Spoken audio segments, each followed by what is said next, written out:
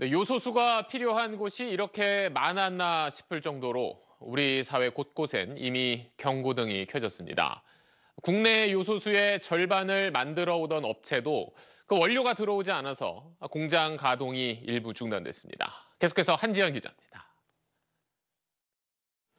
철강업계는 자재를 운반하는 트럭뿐 아니라 생산 과정에서도 질소 산화를 저감하기 위해 요소수가 필요합니다.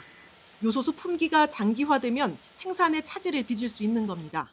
질소산화물 처리한 설비 요소수를 쓰고 있는데 현재는 뭐 한 달 이내 수준의 재고를 가지고 있는 상황이고 면밀하게 상황을 보고 있다. 다 만든 디젤 차량에 요소수를 주입해 파는 자동차 업계 역시 출고에 어려움을 겪게 될까 우려하고 있습니다. 너 갖고 이제 나가야 되는 건 맞죠. 장기화되면 이제 출고가 좀 느려지겠죠.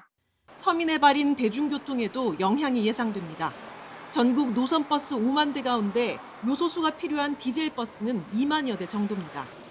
한 버스 업체의 요소수 탱크는 이미 3분의 2가 텅텅 비었습니다. 시키면 만원도 시키는데 뭐 우리가 받아, 받아 달라고 해도 2천밖에 안 됐어요. 차가 멈추게 되면 아무래도 시민들이 더 힘들지 않을까요? 음, 시민의 발이기 때문에 렌터카 업체에도 불똥이 튀었습니다. 비싸게 걸렸죠. 지금은 금단지보다 더 금단지보다 더 이제 지금 귀하니까 손님들하고 좀 실갱이 좀 해요. 원자재인 요소가 수입되지 않아 요소수 제조업체의 생산 차질은 이미 본격화됐습니다. 국내 요소수의 절반을 만드는 롯데 정밀화학은 생산 라인 일부가 지난주부터 가동을 멈췄습니다.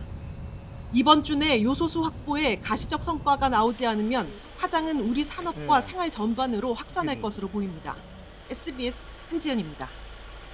네, 안녕하십니까. 김현우입니다. 더 많은 뉴스와 라이브 이벤트를 보고 싶으시면 화면 오른쪽을 눌러서 구독해 보시길 바라겠습니다. 또 저희 SBS 앱을 다운로드 하시면 속보 알림도 받아 보실 수 있습니다. 항상 저희 SBS 뉴스를 시청해 주셔서 대단히 고맙습니다.